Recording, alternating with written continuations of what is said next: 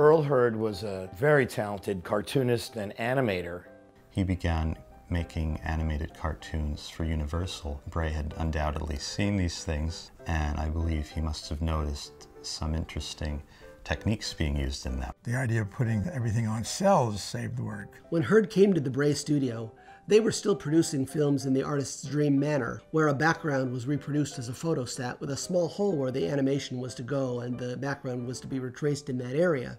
Hurd devised a system of using transparent sheets of celluloid to draw and paint artwork on. And this, the background is put over the drawings.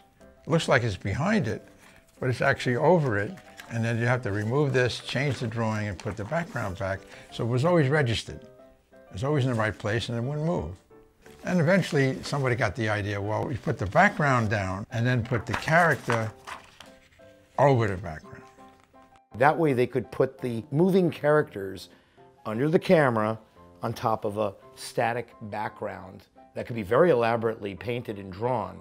It really enabled the animation industry to move forward, and it was a technique that was used for many, many decades afterwards until computers came along. Really, that's animation. That's what we know when we think of Mickey Mouse and Steamboat Willie or Snow White or The Little Mermaid. That's the technique.